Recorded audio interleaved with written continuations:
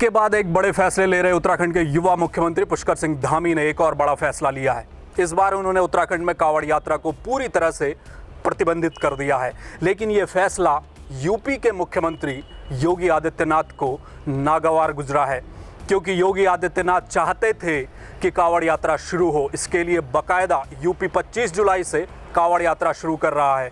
इधर पुष्कर सिंह धामी ने सारे बॉर्डर सील कर दिए हैं। कांवड़ यात्रा नहीं होगी। इस फैसले के बाद यूपी और उत्तराखंड की सरकार आमने सामने आ गई है।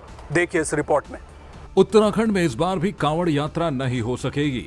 राज्य सरकार ने कांवड़ यात्रा 2021 पर प्रतिबंध लगा दिया है। जी हाँ एक हफ़्ते तक चले मंथन के बाद आखिरकार पुष्कर सरकार ने कांवड़ यात्रा को स्थगित करने का फैसला ले लिया है। सीएम धामी के इस फैसले के बाद यूपी और उत्तराखंड सरकार आमने सामने आ गई है। क्योंकि यूपी सरकार कांवड़ यात्रा शुरू करने के फैसले से पीछे नहीं हट रही। इधर मुख्यमंत्री पुष्कर सिंह धामी ने उत्तराखंड में कांवड़ यात्रा बैन करने का ऐलान कर दिया है। सीएम धामी ने कहा कि कोरोना संक्रमण के खतरे को देखते हुए राज्य सरकार ने कांवड़ यात्रा स्थगित करने का निर्णय लिया है। सीएम के मुताबिक कांवड़ यात्रा के दौरान कोरोना संक्रमण फैलने का खतरा बना हुआ है। ऐसे में सरकार ऐसा कोई काम नहीं करना चाहती जिससे बीमारी को बढ़ावा मिले। सीएम ने लोगों के स्वास्थ्य का हवाला देते हुए उत्तराखंड में कांवड़ यात्रा प्रतिबंधित करने की बात कह दी है। तो हरिद्वार को हम जो है एक कोरोना महामारी का केंद्र नहीं बनाना चाहते हैं। लोगों का जीवन हमारे लिए प्राथमिकता है। हम उससे बिल्कुल भी खिलवाड़ नहीं कर सकते उसका हम कोई कोताही नहीं बरतेंगे।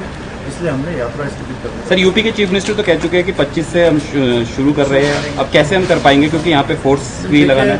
देखिए- इससे पहले आप लोगों ने देखा होगा कई बार ऐसी स्थितियाँ आई हैं। इसलिए हम लोगों ने निर्णय लिया है।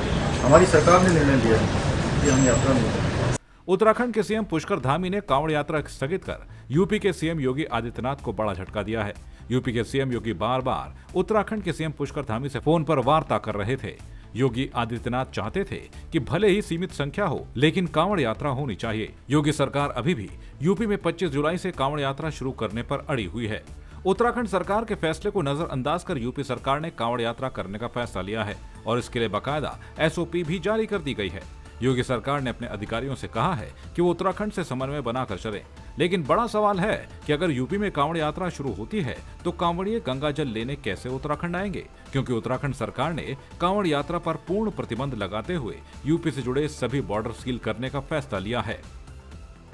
हरिद्वार में कावड़ यात्रा के दौरान हर साल तीन करोड़ कांवड़िए जुटते हैं। यानी कि राजनीति के लिहाज से देखें तो एक बड़ा वोट बैंक है, जिसका एक बड़ा हिस्सा भाजपा के खाते में जाता है।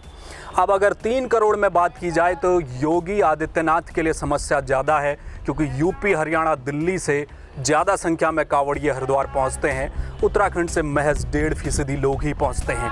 यानी कि वोट बैंक के लिहाज से पुष्कर सिंह धामी खतरे में नहीं है, लेकिन योगी आदित्यनाथ के लिए समस्या है।